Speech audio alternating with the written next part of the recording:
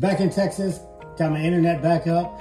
Uh, moving forward from the previous video on muscle building, where we talked about rep ranges, so 5 to 30 being the generally accepted uh, kind of left and right limits there for hypertrophy, we're going to move on to the next most important thing uh, that I believe is fundamental to constructing a solid, uh, really any kind of resistance-based uh, program, but specifically for hypertrophy, which is exercise selection, and then that dovetails into uh, SFR or stimulus to fatigue ratio. Once we have an understanding of these two things, and then incorporate that into the 5 to 30 rep concept, we'll be able to construct individual sessions, individual workouts that target a particular area or a particular group of muscles that we're trying to hypertrophy.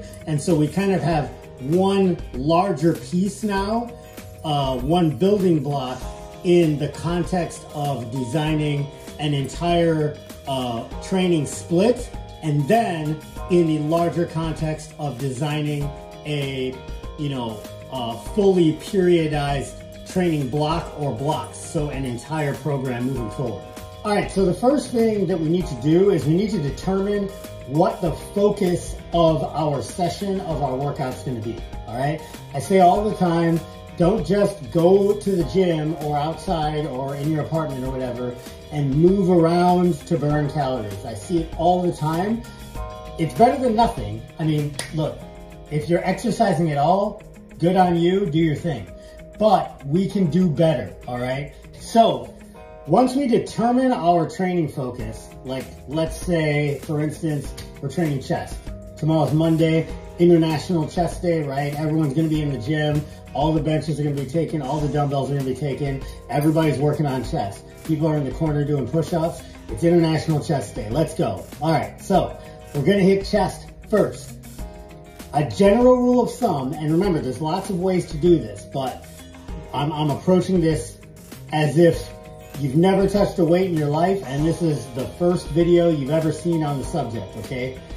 Generally speaking, what you wanna do is you wanna hit the big muscle groups in the context of that focus. So remember, we're, we're pressing as our focus, so our big muscle group is gonna be the pec major, right?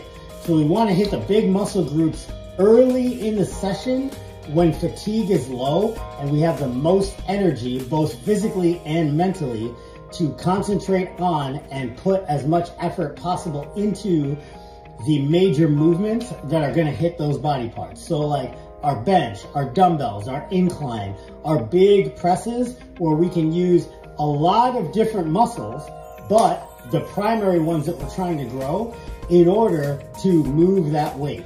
In general, we wanna go big movements to small movements, heavier movements to lighter movements.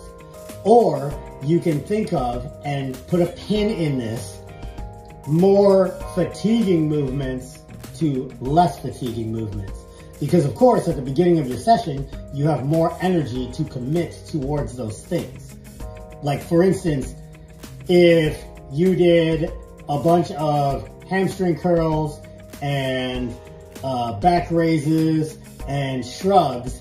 And then at the end of all that, you try to do your max deadlift, you can't because you fatigued all the little things involved in doing that big thing. So if you were trying to move the most weight in a deadlift, you would do it earlier in your session if that were your goal. But remember, we're talking about chest. We want to choose exercises that check these boxes. Can you do it hard enough properly, right? So by hard enough, I mean, can you come within close enough proximity to failure? You don't necessarily have to go to failure, but it needs to be sufficiently difficult. Uh, it needs to be heavy enough that there is perturbation, disruption in the muscle, whatever that means relative to your strength level. Can you do it hard enough properly for reps, right? So like, can you do it hard enough properly? In other words, like how how heavy or how intensely can you lift but with good form?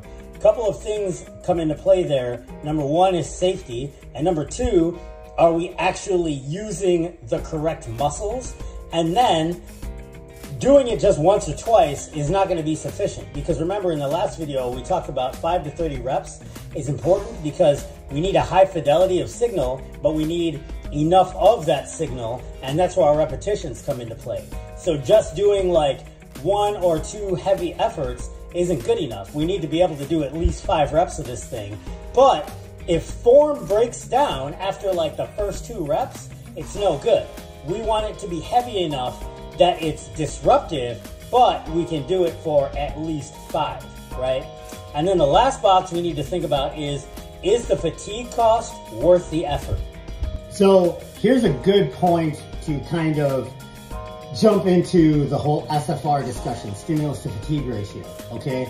So what stimulus to fatigue ratio is, is it's a description of the relationship between how much stimulus, so how much uh, fidelity of signal of training effect you get from a movement versus how much effort and recovery on the tail end it's gonna cost you.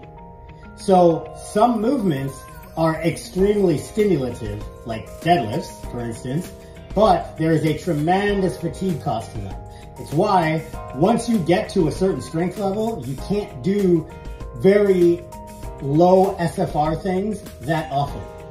You know, some of the strongest people on the planet can only do their competition lifts uh, for maxes, you know, every 10 days, every two weeks, every month, because to move as much weight as they can move, it's super fatiguing.